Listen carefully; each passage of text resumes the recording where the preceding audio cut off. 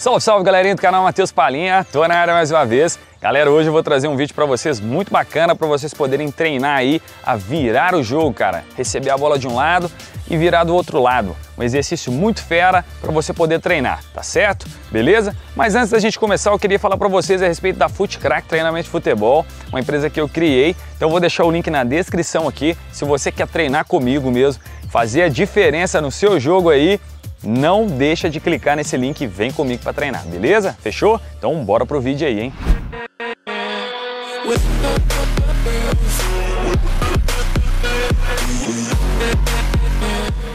Galera, então vamos lá pro exercício. Seguinte, hein? Para a gente poder fazer o exercício, a gente tem que ter uma pessoa num ponto A, que é aqui na minha direita, e um no ponto B, certo? A uma distância mais ou menos aqui de 6, 8 metros, tá? De distância um do outro aqui ok? Você pode fazer isso maior? Pode também. Fazer isso maior para a gente poder trabalhar um passe mais longo, tá bom?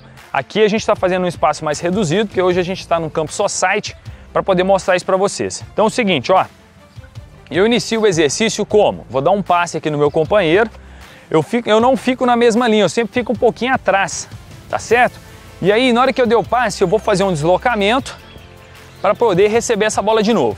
Quando eu for receber essa bola novamente, como eu tenho que fazer uma virada para minha esquerda, eu tenho que fazer o domínio de bola, ó, com a perna esquerda já direcionando o meu tronco para lá, certo? Para que eu que eu possa ficar de frente e eu enxergar todo o jogo. Se eu faço um domínio, ó, vamos repetir aqui. Se eu faço o domínio de frente aqui, ó, para mim poder virar esse jogo lá, eu já tenho que vou perder tempo, porque aí eu tenho que fazer um giro para depois poder dar o passe lá. Então, sempre quando você for dominar a bola, procure receber a bola sempre de frente, para que você tenha condição de dominar a bola de frente, certo? E ter condição de bater lá ou até mesmo de devolver aqui, se caso a marcação te pressionar. Então, no caso aqui, eu recebi do Rafa, beleza?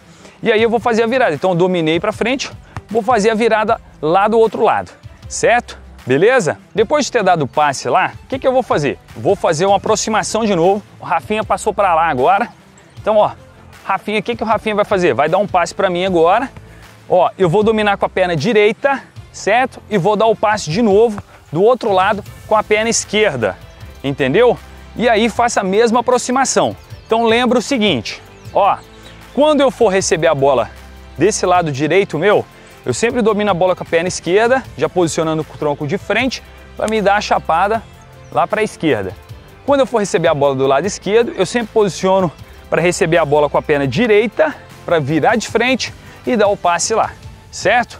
Beleza? Isso, pessoal, você tendo um espaço, certo? E a marcação não estando te pressionando, ok? Se caso você estiver aproximando e a marcação te pressionar, você vai ter que dominar essa bola de forma diferente, né? Mas aí a gente não está trabalhando virada de jogo, tá certo? Como a gente está trabalhando aqui a virada de jogo, então é importante você sempre dominar e receber a bola de frente para o campo para que você consiga desempenhar um bom jogo, às vezes até achar um passe entre linhas, entendeu? Uma enfiada de bola, tá certo? Que fica super bacana de você fazer, você vai ter uma visão de jogo excelente. Confere esse exemplo aqui que a gente fez aqui com três participantes para você ver direitinho como é que funciona.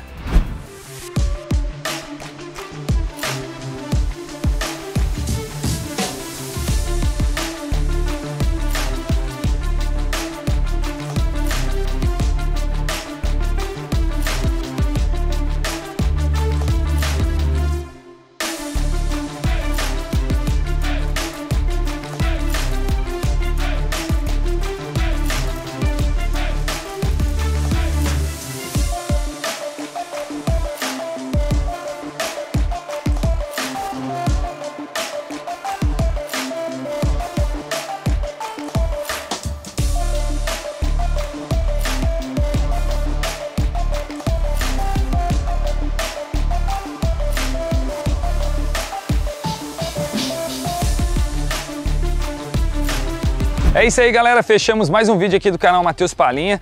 Pessoal, a gente fez aqui no espaço reduzido, né? Mas você pode estar fazendo um espaço maior também. Então você pode estar fazendo um passe curto, né, trabalhando esse domínio com as duas pernas e o passe e aproximação, e pode também fazer com o lançamento, tá certo? onde você recebe, faz aquela virada de jogo por cima, né, para ficar bem bacana mesmo.